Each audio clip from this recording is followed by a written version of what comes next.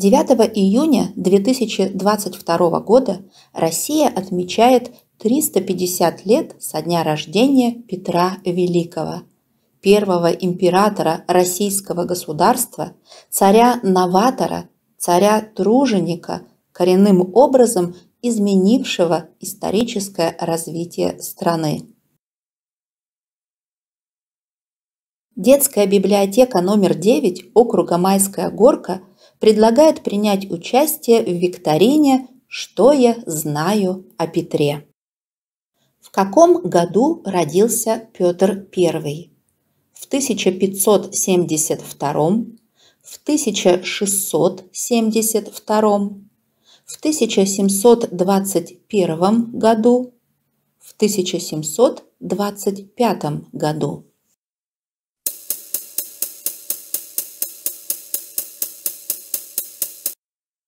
Петр Алексеевич родился 9 июня 1672 года в Москве. Его отцом был русский царь Алексей Михайлович Романов, а матерью Наталья Нарышкина, вторая жена царя. Петр был младшим в большой семье Алексея Михайловича. Сколько лет было Петру Первому, когда его провозгласили царем? Десять лет, двенадцать лет, пятнадцать лет, 20 лет.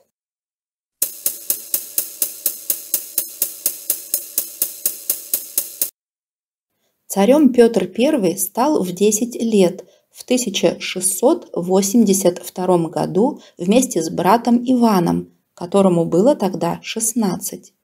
Иван был очень болезненным, Петр слишком юным, поэтому государственными делами заправляла их старшая сестра Софья – Самостоятельно управлять государством Петр I стал с 1689 года.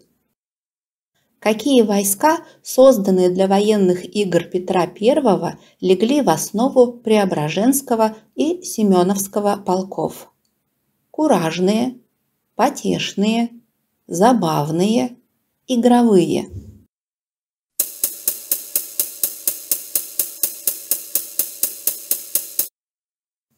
Свою юность Петр I провел в подмосковном селе Преображенском. Будущий император с детства увлекался военным делом. Из его сверстников было создано потешное войско, где Петр I служил барабанщиком. Петровские войска назывались потешными не потому, что развлекали юного царя. Просто они находились за городом, в деревнях, куда цари со свитой выезжали на летние каникулы – Потому эти деревни и назывались потешными. На каком озере в конце XVII века была построена потешная учебная флотилия Петра I? На Ладожском, на Плещеевом, на Онежском, на Чудском.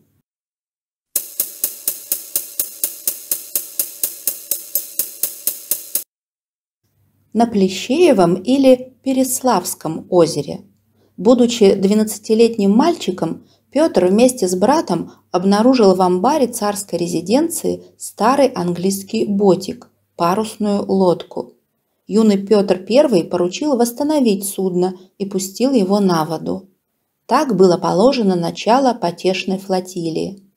Когда Петру I было 17 лет, он начал учиться строить корабли на Переславском озере под каким именем Петр I посетил в 1697-98 годах Европу с Великим посольством.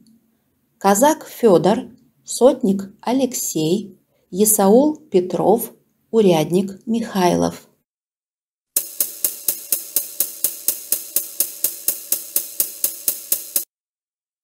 Великое посольство путешествие Петра I в Западную Европу для установления дипломатических отношений. В составе дипломатической миссии было более 250 человек. Среди них были представители различных профессий, от переводчиков до священников, во главе с дипломатами. Ехал в Европу и сам царь Петр I, представлявшийся Петром Михайловым, урядником Преображенского полка. Каких экзотических животных Петр I успешно выставил под Псковом против шведской конницы во время Северной войны? Верблюдов, слонов, быков, ослов.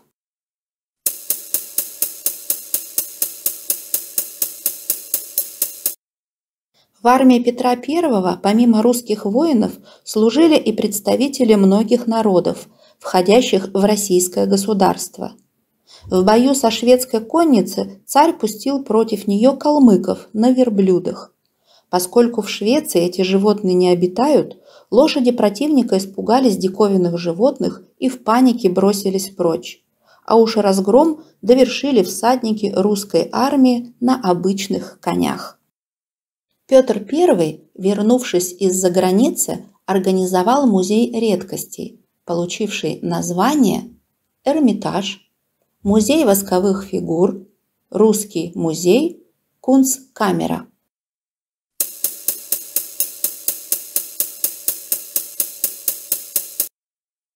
Вернувшись в Россию, Петр занялся обустройством русского кабинета редкостей – Распорядившись перенести столицу России из Москвы в Петербург, Петр также приказал перенести и государев кабинет.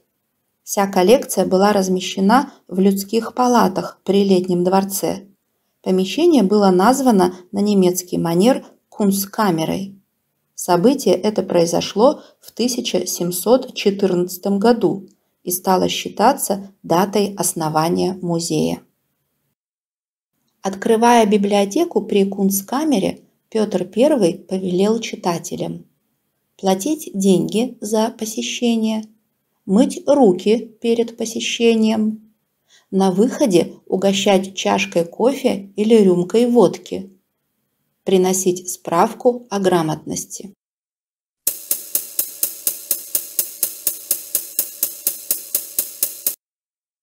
Открывая библиотеку, государь в разговоре с генерал-прокурором города, который выступал за то, чтобы брать с людей деньги за посещение библиотеки, повелел тому, кто придет в библиотеку, на выходе давать чашку кофе или рюмку водки. И это подействовало. Народ стал вставать в очередь, чтобы получить заветное угощение. Главному библиотекарю выдавались 200 рублей – сумасшедшие деньги по тем временам на то, чтобы купить эту чашку кофе или рюмку водки. Какой год в истории России был самым коротким? 1672, 1699, 1710, 1720 год.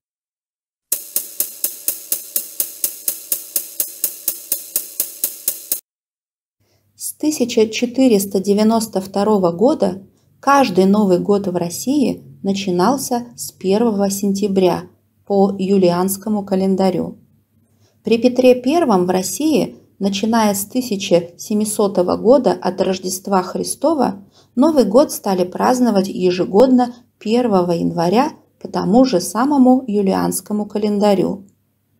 Таким образом, самым коротким был 1600 99 год в связи с переходом на празднование Нового года с 1 января.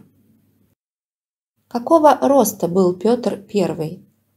170 сантиметров, 204 сантиметра, 215 сантиметров, 238 сантиметров.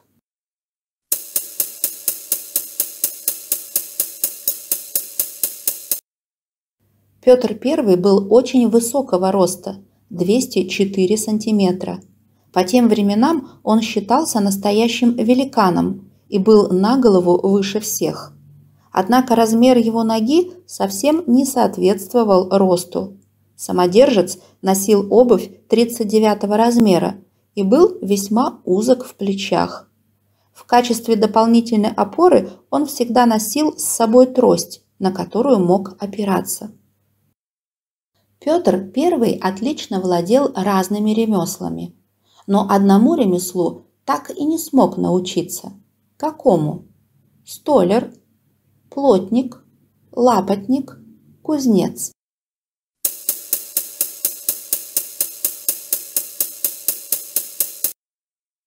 Петр I освоил около 15 ремесел, но особенно он любил токарное дело. По сей день в различных музеях хранятся 12 принадлежащих ему токарных станков, а еще 38 утеряны. Но он не смог научиться плести лапти. Он сказал, нет ремесла мудрее лапотного. Петр I увлекался медициной, а больше всего кардиологией, неврологией, стоматологией, урологией.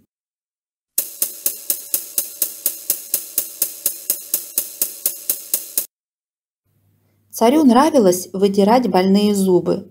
Этому его научил голландский дантист. Именно согласно указу Петра I в 1707 году на берегу Яузы был возведен первый сухопутный военный госпиталь. При этом госпитале начала свою работу медико-хирургическая школа.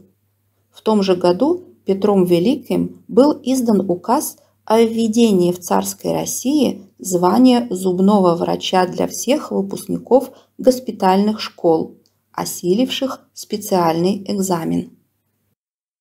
Назовите любимые цветы Петра I. Ромашки, тюльпаны, розы, лилии.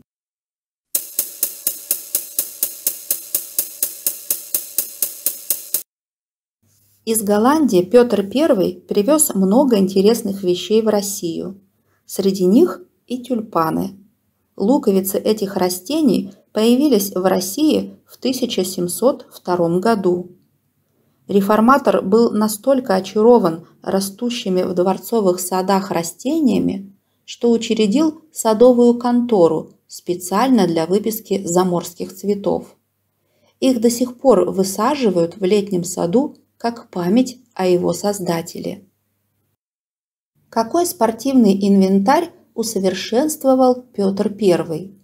Лыжи, коньки, штанга, турник.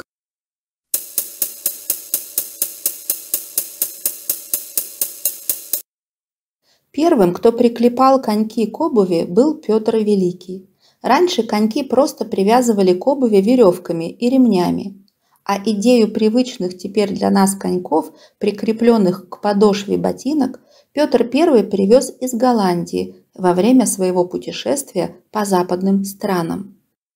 Сколько весила медаль за пьянство, учрежденная Петром I? 1 килограмм, 3 килограмма, 5 килограммов, 7 килограммов.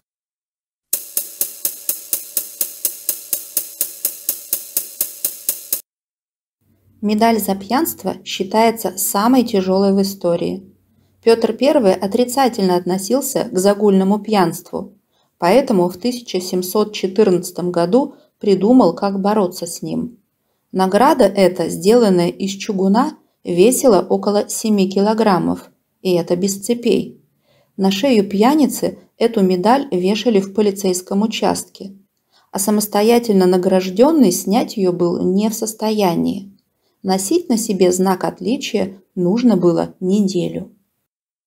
Петр I был последним русским царем, но первым королем, императором, канцлером, президентом.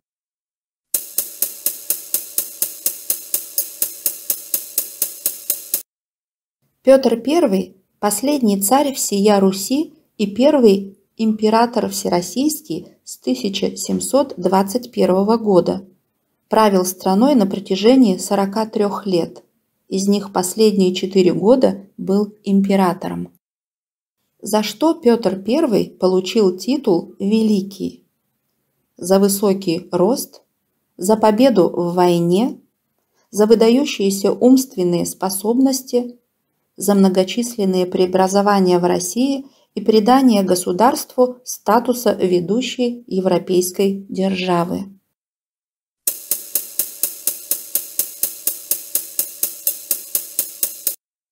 Конечно, Петр I получил титул «Великий» за многочисленные преобразования в России.